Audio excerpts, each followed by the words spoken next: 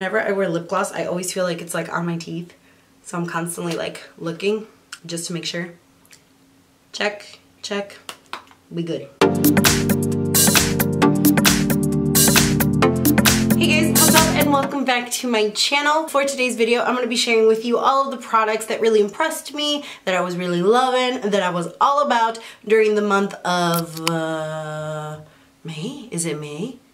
Yeah, like we're already in June. Like Holy shit. Anyway, we have tons of products that I want to get through today. The only thing I want to mention before we jump straight into the video is that my allergies have been acting up like crazy right now. And I did just get over being sick, so you can still hear me like all nasally and gross and kind of disgusting. But I'm feeling better. So we had time today and we were gonna film. Let's jump straight into the first product. All right, so the first product is more of like a skincare nighttime item. This is from Sephora. This is the Sephora Coconut Water Cleansing Wipes. And you get 25 of them in this little pack pack and I think this pack is like $7.99, $8 or something like that. I bought these mostly just to have as like a cleaning wipe. So like if I'm doing swatches and stuff or like if I want to carry some in my purse. Ran out of my makeup remover wipes uh, like five days ago and so I picked this one up because it was like a wet cloth and I put my Micellar cleansing water that I've used like pretty much since I mentioned it to you guys last year to take off my makeup and holy cow my entire face of makeup came off with one wipe. It was so soft on my skin it didn't leave a greasy feeling it didn't leave it like wet feeling it didn't leave it feeling like clogged or anything like that and the smell of coconut lingered a little bit. I was actually blown away how well this works to take off your makeup. I also wear contacts, so I have a little bit, a little bit of sensitive eyes around my eyes, like if I'm putting on makeup there or if I'm taking something off, but it starts to bother me a little bit and not with these. These literally took off everything instantly, smelled great like coconut, and like I said, it didn't irritate my eyes, so I was really impressed with these. I highly recommend you pick these up if you guys are looking for a different makeup remover wipe or if you guys are just looking for like a cleansing cloth, I highly recommend these. All right, and I have one more bath-like item to talk to you guys about. And I swear to you, when I first heard about this product, I was like, that's such a joke. I would never spend money on that and here I am about to tell you how much I love this product. This is from Sol de Janeiro and this is the Brazilian Bum Bum Cream. This is the smaller like sample size version of it and like I said, when I first heard about this product and people were raving about it, I was like that's stupid. I'm not gonna spend 20 plus dollars on a cream for my butt. It just didn't make any sense to me. And we were at Sephora with my friend Sambo and she was telling me like have you tried this? I heard it's really good. It's supposed to get rid of cellulite, it's supposed to like just make your butt look really nice and round and I don't know which one of those words kind of just like clicked it for me, but I ended up picking it up and I was like, all right, just toss in the bag. I like want to give it a go, you know? I've been using this for about three weeks now and holy cannoli, this thing actually works. I do have to throw out there that I don't think it's like, bam, instantly gonna get rid of your cellulite. Like you have to change your diet and exercise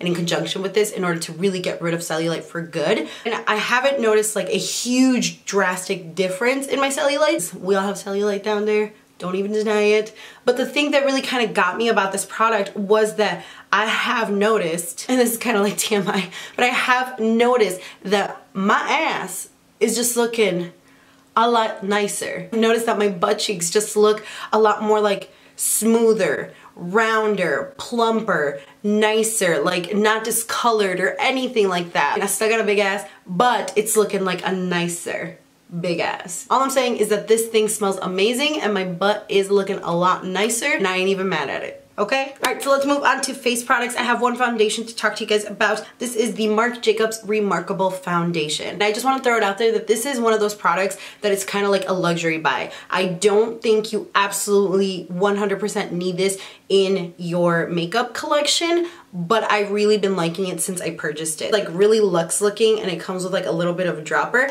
I kind of like that because then I don't have to get like my hands dirty. I just like plop it on my skin and I'm only using this on me. It's not like I freelance with it so it's okay about like being hygienic and stuff. It gives a really good amount of coverage on your skin and it makes your skin look smooth. It's not one of those really thick creamy-ish foundations that's gonna give you full coverage but then it's gonna make it look cakey or scaly or just like you're wearing tons of layers of makeup. This literally feels like a pure pigment that goes on your skin and that's why you get such good coverage and that's why it's kind of like a smooth canvas on your skin. So I really like that effect. The only thing about this foundation for me personally is that I didn't really like the way it blended out with like a makeup sponge.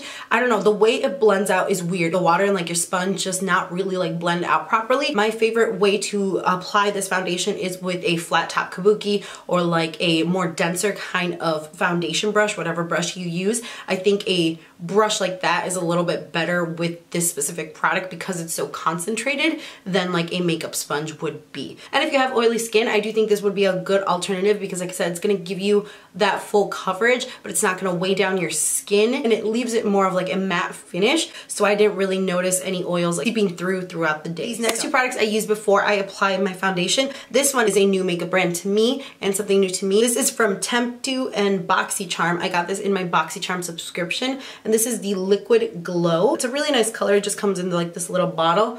Um, and when you apply it on, it's very liquidy, but it's kind of like a goldish kind of shade. And when you blend it out, it looks just like this. If you really blend it out, it just leaves your skin kind of like a really nice glow. It's more of like a sheen. It's not one of those like reflective metallic kind of glows. It's just a, like a nice healthy kind of color to the skin. And what I've been doing with this is I've been applying this to my skin so I'll just add like one or two drops here, one or two drops here, and then one or two drops on my forehead, avoiding like the T-zone. That's the area that gets oily for me personally. So I'll do it on like the parameters of my face that tend to be a little bit more dry or that uh, don't really get as much oil throughout the day. And I've been really loving it. This kind of just adds that like life back to my skin. I feel like this has really been helping with that because like I said, it adds a little bit of a shine to your skin without it being dewy or glowy or over the top. So I can't handle any of those like really luminous primers, but this one, like I said, just adds a nice amount of color to the skin and I've just been really liking it. And then to prime my face, I've really been reaching for this Milk Makeup Blur Stick. You guys have seen this everywhere. It looks just like this. It's one shade. Kind of nervous to get this because when it first came out, I was really, really interested in it because I kept seeing really positive reviews. And then the longer that I waited to get it, more people were saying how they don't like it, how it balls up on the skin, how it just doesn't provide what they were looking for. And the reason I got this was because it was supposed to blur out my pores and just kind of create a smooth canvas on my skin.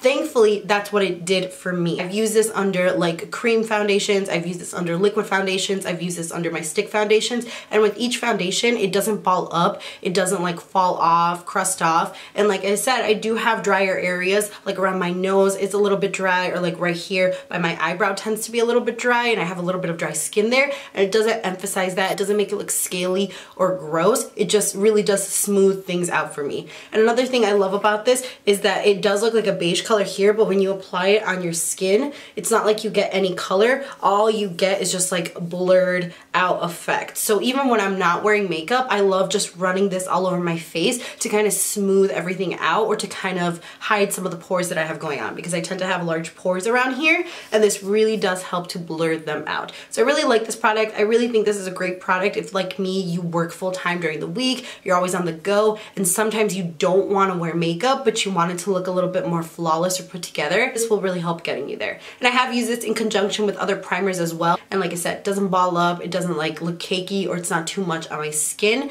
And I do have more combo skin. So two new makeup tools for this past month that I've been loving. The first one is from Eco Tools. I'm pretty sure I have not talked about this and I'm so sorry that this looks disgusting, but I've used it nonstop since I got it and I really, really love it. You've heard tons of people rave about this one, I'm sure, but the hype is real with this product. It's just really, really good. So it's a really squishy sponge. When you get it wet, it grows a little bit bigger, kind of just like the Beauty Blender. It's still really squishy, still really nice. One side is like a large flat side. It's rounded at the bottom like the Beauty Blender, and then you get another little flat side here. And I think that's super helpful. You get multiple sides. I know the Real Techniques complexion sponge also gives you multiple sides, but something about that pointy side and then a slanted side without being round just kind of doesn't really work for me anymore. This one is amazing because I can just apply my foundation with this rounded side at the bottom and it blends it out flawlessly, seamlessly, no streaks or anything like that. With this large side, I use to like clean up my contour or if I really want to bake and pat it underneath the eye area and stuff. Otherwise, I can use this side too to apply my foundation.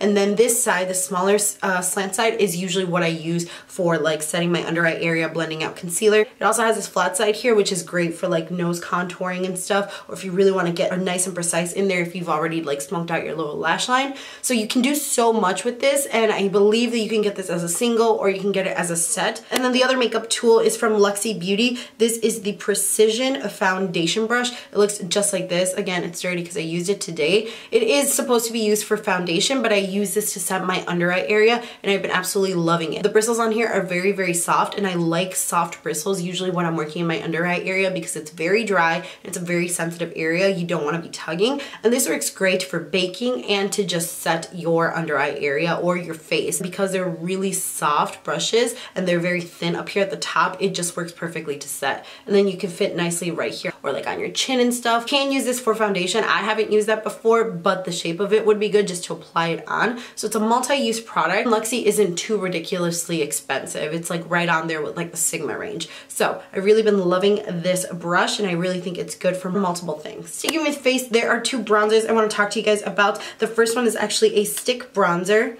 This is from Jordana. This is a Sculpt and Go Creamy Contour Stick. And I actually purchased this a while ago, like in my drugstore haul, and I didn't really use it as much until recently, but I absolutely love this. Like I was saying, parameters around my face have been particularly dry lately, and I find that if I go in with powder and powder and powder, it really does look in certain areas just a little bit dry or a little bit cakey and I just don't like the way it kind of emphasizes that dry skin. I'm reaching more for like cream products. So instead of going in with like a powder bronzer, I just use this. It's a really nice shade and when it blends out, it blends out just a little bit lighter than this. It's not too orangey and it's not too like ashy tone. So it's really, really creamy. It blends out really nicely. It's a good amount of pigmentation. It's not gonna be like bam, you're not gonna be able to blend it out and it's just gonna stay there. It blends out really well. It doesn't emphasize any of those dry patches that I have around my face face. So I use it like in this area and then I'll use it on like my forehead and stuff. So I really have been liking this and I think it was like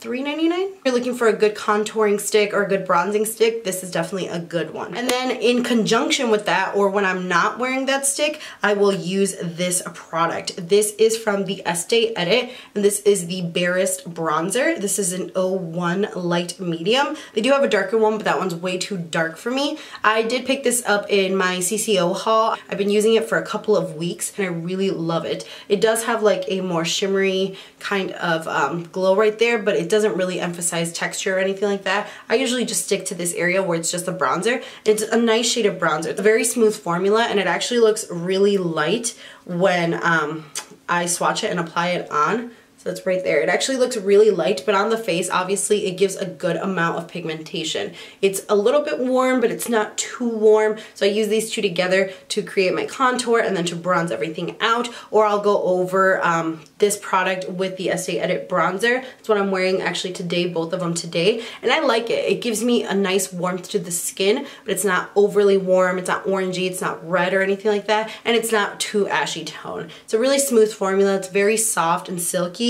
it blends nicely, blends out nicely, and is very buildable. And you do get a lot of product. I think you get um, 0.56 ounces. So it's a really good amount of product. Packaging is very nice too, and you get a mirror. I do think right now, uh, the Estee Edit is on sale at Sephora actually. I think I saw this on sale. If you're interested in this or if you're interested in getting a new bronzer, I'll leave a link down below for you guys to pick this up. This is the BH Cosmetics and Carli Bybel palette. This is the deluxe palette and that is what it looks like. First of all, I just gotta say I love Carli Bybel. I do have the other palette and I really like it. So at first I wasn't planning on getting this one, but then I heard people rave about it. It does come with shades that are not included in the original one and I just kind of wanted to support her so I picked it up, but I was kind of blown away how good this palette is. I've created tons of look with this. I've created like darker kind of more uh, berry tone and mauve looks. You can create like neutral and just like easygoing kind of looks. You can do more darker looks. You get pops of color here. And then the highlighters are absolutely amazing. The formula of this is really, really good. You do get a good amount of color variance. With this one, you get a good amount of color payoff too. They're very pigmented. They sit nicely on the skin and they don't emphasize texture, which is one of the things I hesitate about getting like more drugstore highlighters. Sometimes formula is very smooth, but it will emphasize texture and these don't. And I just, I really like it. I think for $19, I think is the price of it. It's a really good deal. Carli really did a really amazing job. I like the versatility in this product and I just like Carli Bybel and everything she stands for. So definitely had to support my girl. I have also been using these a lot this past month. These are from Maybelline. They are the new Maybelline Expert Wear eyeshadows This one is more of a goldish beige one. This is called the Glow Down. This one is more of like a rose gold nudie shade and this is called Nude Glow. And I've never really been big on Maybelline eyeshadows, especially their single eyeshadows, just because either they gave good pigmentation but they didn't blend out nicely or last on the eye, or they didn't really give off good pigmentation. These I feel are kind of the complete opposite. They're definitely a lot better than the original ones that they had. You get a good amount of pigmentation there. They have a lot of brand new shades, which is what I really like.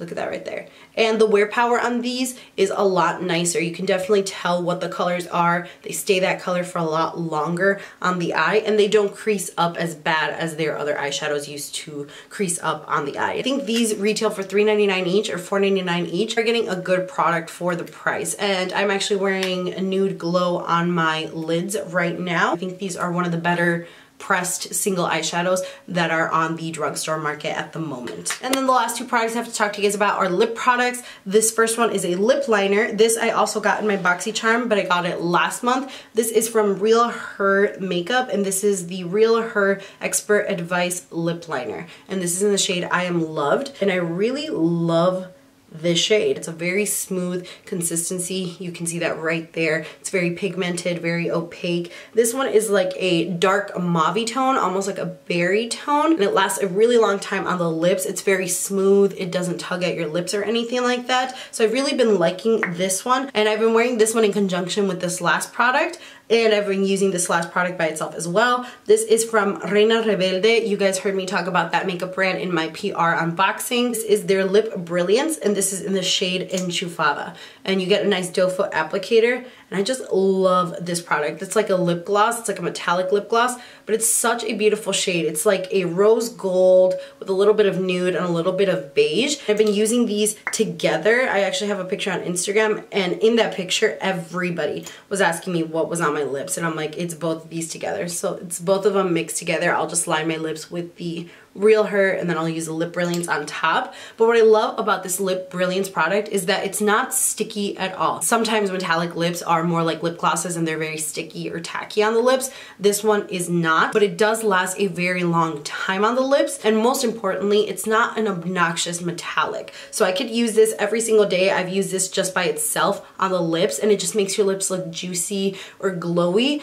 but it doesn't make them look metallic. It doesn't make them look reflective or like you're wearing mirrors. So even though I like that for like my highlighter, my face highlighter, I don't really like that on my lips. This one just gives me that. It gives a nice shine to the lips. It makes your lips look healthy, juicy, bigger if you just add it like in the middle. But like I said, it's not an obnoxious metallic kind of lipstick. And I actually do have a coupon code for Reina Rebelde. They gave me one when they sent over some PR. So if you guys are interested in that or checking out their brand, I will have that coupon code linked down below for you guys, as well as their website and this specific product. But that is it for my favorites for this month. I told you we had a lot of things to get through, so if you guys made it to the end of this video, bravo to you. Twitter, Snapchat, Instagram, all that stuff is gonna be linked down below for you guys, as well as coupon codes to help you save some money. Don't forget to hit that notification bell button so you guys are notified when I post new videos. Also, make sure you guys are subscribed to this channel if you guys like my videos or if you guys just like me in general, because at 2K, once we hit 2,000 subscribers, which is